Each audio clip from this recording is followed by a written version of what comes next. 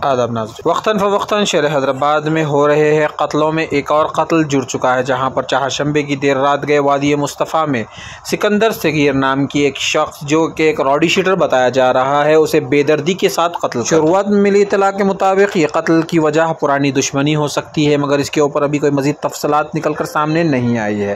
اس کا قتل بہت ہی بے دردی کے ساتھ کیا گیا ہے۔ اس کے قتل کے بعد اس کے جسم پر کپڑے بھی نہیں تھے۔ اس طرح کی واردات کو انجام دینے والے دل میں بہت ہی زیادہ خصومت لے کر بیٹھے ہوں گے، تبھی اس طرح سے قتل کیا گیا ہے۔ جو نوجوان نسل ایک دوسرے کے اوپر لڑائی کرنے کے لیے تھوڑی بھی دیر نہیں کرتے، ان کے لیے یہ ایک سبق بن سکتا ہے۔ کیونکہ راؤڈی شیٹر کی زندگی کا انجام یہ ہوتا ہے کہ جیتے جی بھی اس کی جان کو دھوکا ہوتا ہے۔ ہر بار وہ اپنے خوف میں جیتا ہے کہ کون کہیں سے آئے اسے مار دے۔ اور کئی راؤڈی شیٹر کا انجام اس طرح سے ہوتا ہے جیسے اس شخص کا ہوا ہے۔ بے دردی کے ساتھ قتل۔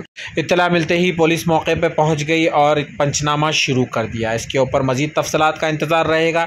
جیسے ہی اس کے اوپر کوئی اپڈیٹ آتی ہے، ہم اب تک ضرور پہنچائیں گے۔ آگے آنے والے تمام نیوز اور اپڈیٹس کے لیے ہمارے چینل کو سبسکرائب ضرور کر لیجیے